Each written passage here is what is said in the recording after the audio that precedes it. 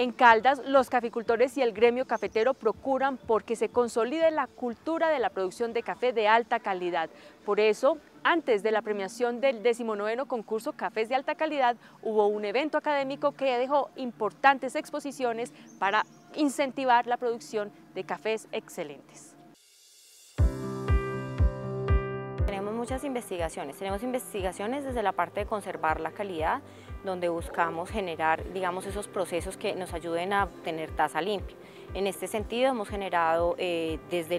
recomendaciones del, fruto, del estado de madurez, también hemos generado eh, condiciones asociadas al proceso de fermentación, al uso de fermaestro y asociado también al uso de Gravimet para controlar la etapa de secado llegando a los rangos de humedad que deben estar comprendidos de entre el 10 al 12%. Con el ánimo de potenciar la calidad del café también hemos estado trabajando procesos eh,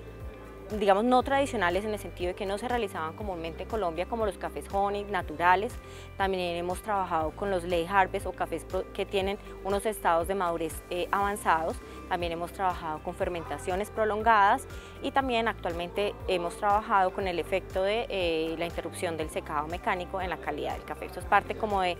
del portafolio de investigaciones que trabaja FESEN y Café, tanto en las disciplinas de post cosecha como calidad, para dar información eh, a los caficultores para eh, el objetivo final que es contribuir a la estrategia más agronomía, más productividad, más calidad, que lo que busca es maximizar la rentabilidad del caficultor. El día de hoy hemos compartido con los caficultores eh, más destacados del departamento de Caldas, de prácticamente todos los municipios, de los 25 municipios cafeteros,